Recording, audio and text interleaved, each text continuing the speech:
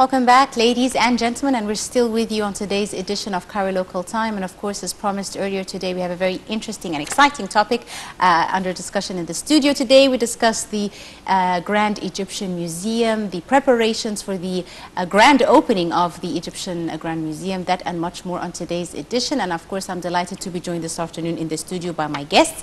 If it's okay with you, Mr. Mohammed, I'll start ladies 1st mm -hmm. Heba Khairi, a museum curator. Thank you very much, Heba, for joining Thank us. You, nice and Mr. Uh, Mohammed Gamal, the archaeologist, thank you so much for joining us thank this you. afternoon. So it's a very big project. It's very exciting. And of course, we've uh, recently seen the Egyptian Prime Minister, Dr. Mustafa Madbouli, held, holding several meetings with members of the cabinet as well as the Supreme uh, Committee that has been formed to organize the inauguration ceremony of the Grand Egyptian Museum, also uh, well known as GEM. I believe Yes. you, you often call it GEM. Yeah. Yes. Right. So uh, Heba, this time I'll start with Mr. Mohammed, if that's Yes. okay. Mr. Mohammed, of course, uh, Grand Egyptian Museum entails that there will be a grand inauguration and opening ceremony. Tell me a bit more about the committee that has been formed uh, to prepare for this uh, ceremony, opening ceremony of the museum. Yeah, first of all, I'd like to thank you very much for this nice invitation. I hope it will be a useful interview Indeed. for the whole audience. Always a pleasure. Actually, as far as now we are so close to achieve our dream, which is opening our lovely mega project, the Grand Egyptian Museum. So now uh, there is a great attention is given to this project. Uh, by the Egyptian government, led by uh, Dr. Mustafa Madbouli, the Prime Minister. So we have now a main committee which is consists of 11 ministers and many other organizations uh, will be responsible for the official uh, opening ceremony. Also, we have mo- um, another committee, an executive committee, uh, will be formed soon uh, by a minister, by the prime minister, by decision from the prime minister. This committee will be responsible for the events which will be uh, done uh, during the inauguration ceremony itself. So the preparation now uh, is undergoing. Uh, everyone in GEM team, GEM team is already uh, prepared himself very well to take the responsibility to make this event uh, at the same level of greatness uh, as uh, like the the project the project itself. The project itself, Yeah. indeed. Heba, uh, what, in your opinion, is the importance of the opening ceremony, the inauguration of the Grand Egyptian Museum? How can it be used to really shed light on where Egypt has come in terms of culture, heritage, uh, the tourists, of course, this is a very Yes. big deal for Egyptian tourism, Yes, a sure. major, major attraction. So tell me, how can this uh, opening ceremony be used in this regard? Okay, I would like to mention at first that GEM is not only a museum. It will be a complete cultural complex. Mm-hmm. Okay, so it will link the past with the present with the future. Mm-hmm. And the major target of this mega project is preserving and safeguarding of the tangible and intangible cultural heritage of Egypt mm-hmm. to guarantee its sustainability and continuity to the future generation. So GEM also will be a cultural center to communicate and link civilizations and cultures mm-hmm.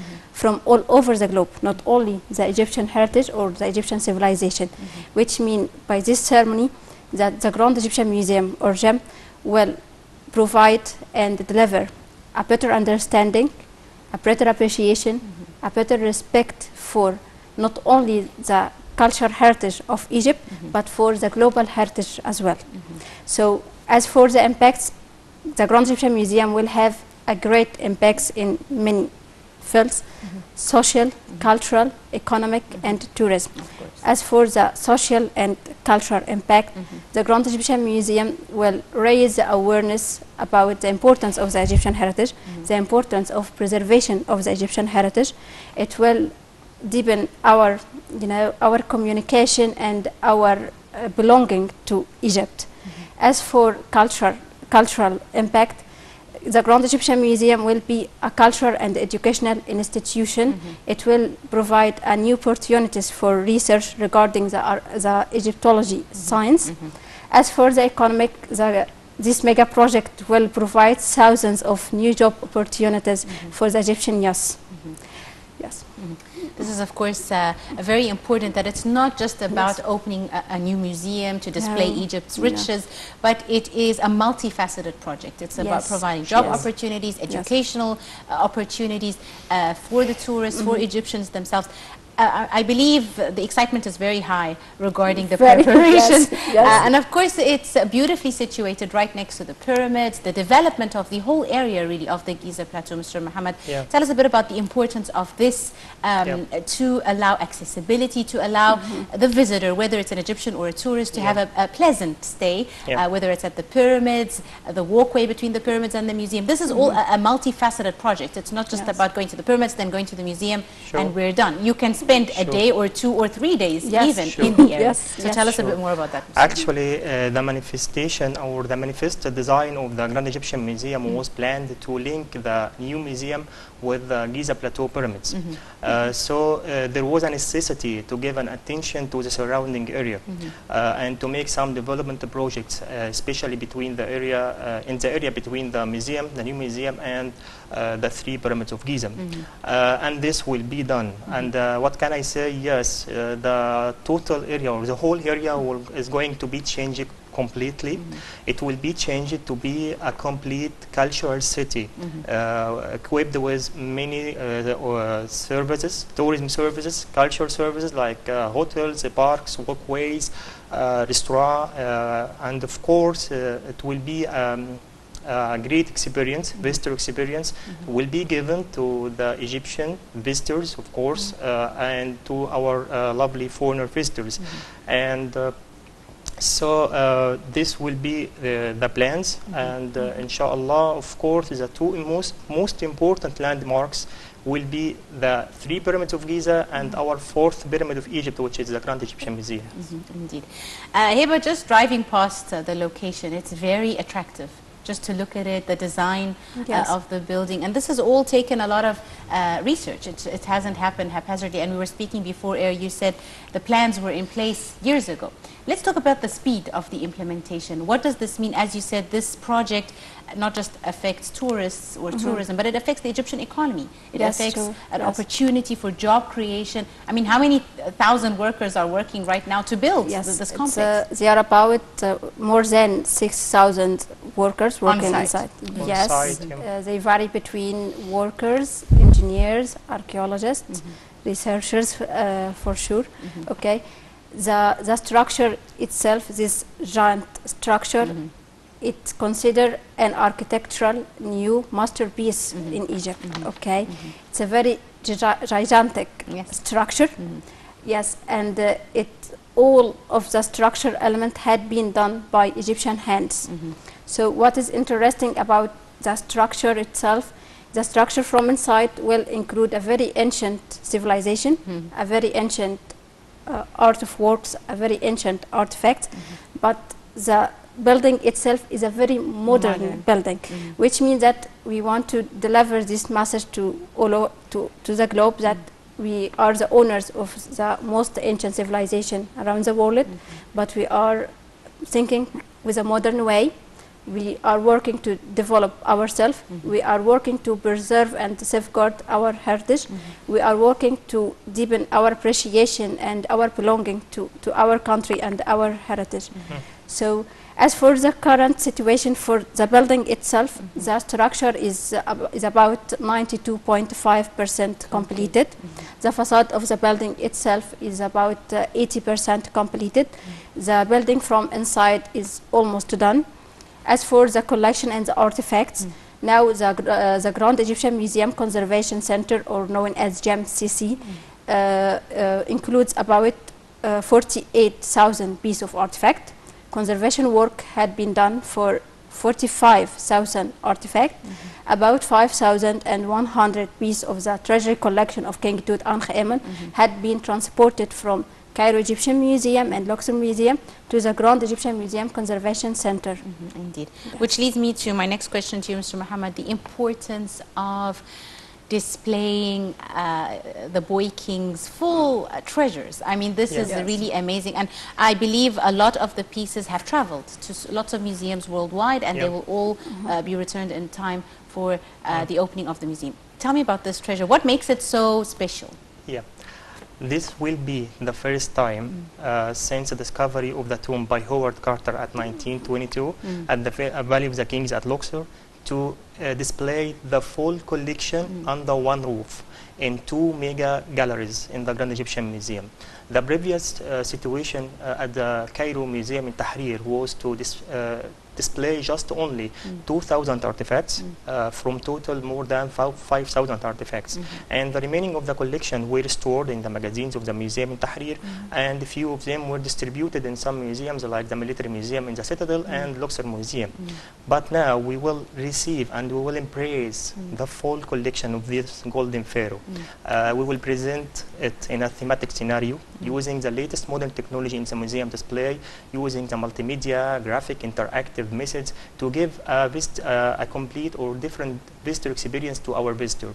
Uh, our scenario is planned to unlock the secrets of everlasting existence of this king, who will give a new information, will uh, tell the visitor a new topics about the life of this golden pharaoh. So I think it will be completely uh, um, uh, a new uh, visitor experience. You can imagine that the previous situation in Tahrir uh, is to present these 2,000 artifacts in just a space about 700 meter.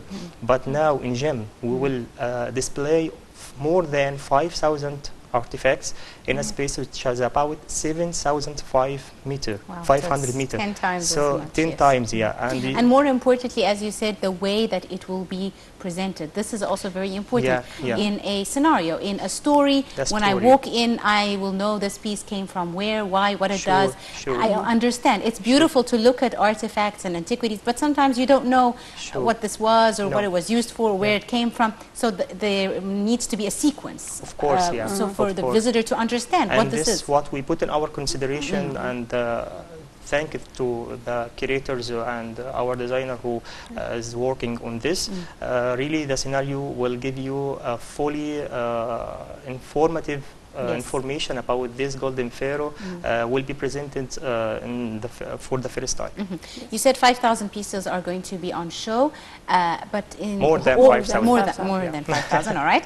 Uh, But all in all, the the museum itself is going to uh, show 100,000 pieces. yeah So sure. this is a huge amount of artifacts. Yeah. Tell me what, what stands out. And of course, you're not going to tell me everything in the 100,000 pieces. We don't have time. But No. uh, what other uh, artifacts are key or Yeah. are uh, important in your opinion? We have uh, four galleries, Mhm. uh, starting from the time of the prehistory of Egypt till the time of the Greek-Roman uh, period of Egypt.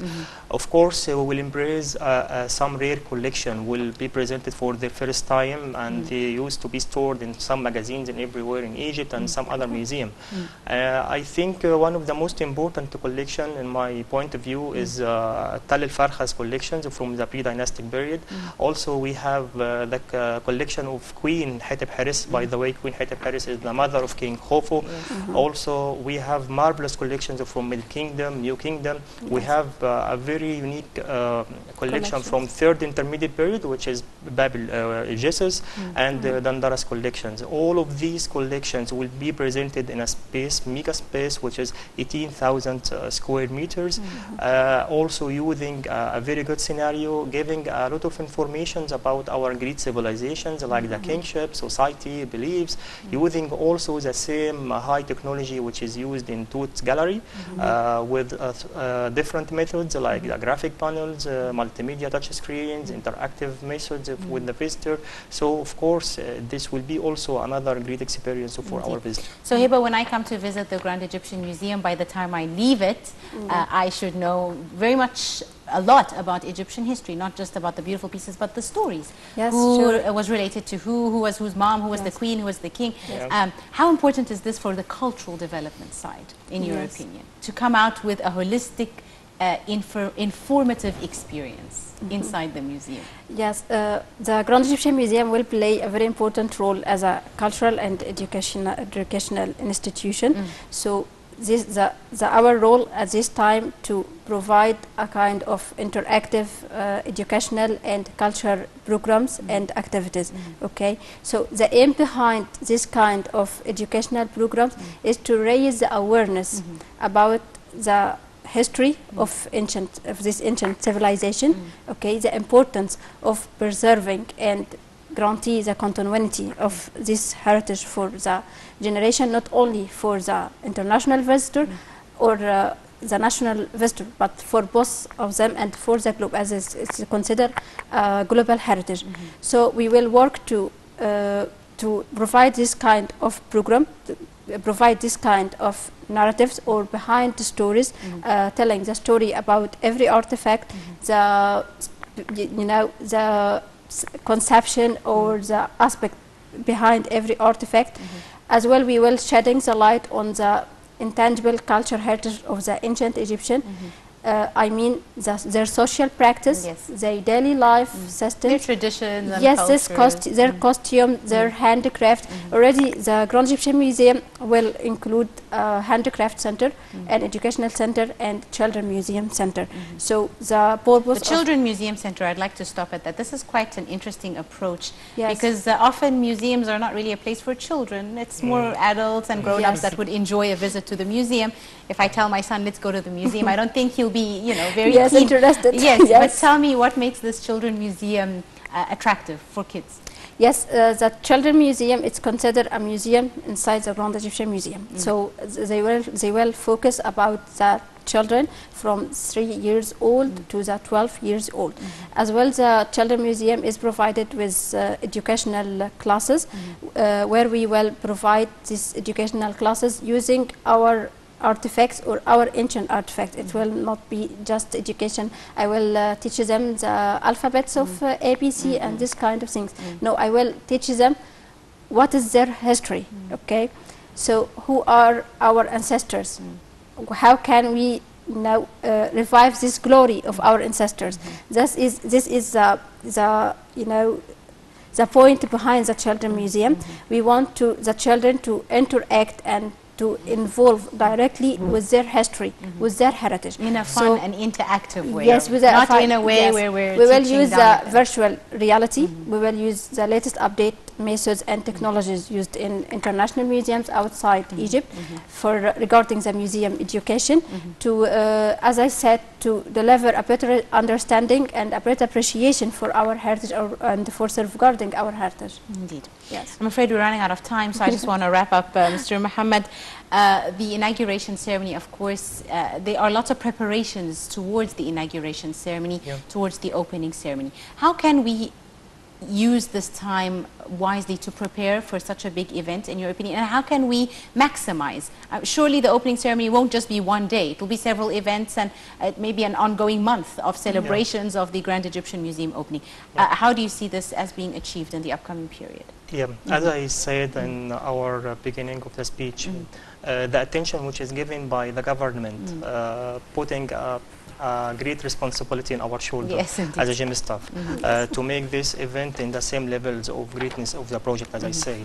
So I think uh, everyone is working hardly, really, to get the honor to be part of the team who will be responsible for this great. Uh, uh, inauguration, which is uh, planned to be, uh, as usual, a magical uh, Event. inauguration, and a magical ceremony, and uh, to make uh, a present or a gift from for the whole world. Um, yeah, and uh, finally, what can I say that um, after a few thousands of years, now in Giza, uh, the grandchildren of the Pharaoh uh, are working hardly to restore the glory of their ancestors. Uh, working hardly to uh, present to the whole world an iconic gift, a miracle, which is the Grand Egyptian Museum. So we will meet you there at 2020, inshallah. Indeed, looking forward to it. And Heba, one final uh, word, especially uh, this uh, project.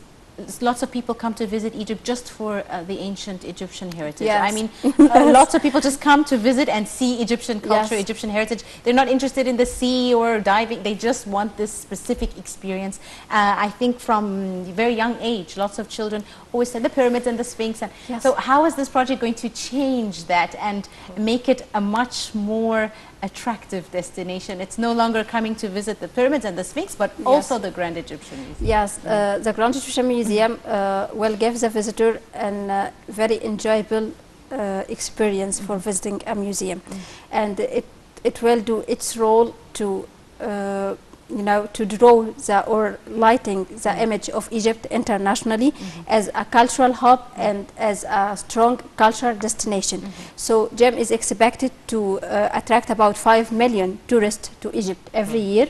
And uh, I, I would like to mention something that the Grand Egyptian Museum have a very, very big role with the sustainable development goals of Egypt Very good. 2030 as it will be a very important tool mm. for promotion and marketing for the tourism, uh, Egyptian tourism market uh, internationally. Indeed. I'm afraid we have run out of time very quickly uh, this afternoon, but I'd like to thank my guests very much. Yes, uh, Ms. you. Heba Khairi, the museum curator, thank you very Thank much. you, And of course, Thank Mr. you. Mohammed Gamal, archaeologist, thank you so much Thank for you. joining us this afternoon. And of course, best wishes and looking forward to visiting the Grand Yes, Egyptian ready for you. Thank Yes, Thank you very much. Thank Ladies you. and gentlemen, uh, that's all the time we have for today, so we'll end it at this. Uh, you are in the company of myself, Angie Meher. Many thanks for watching.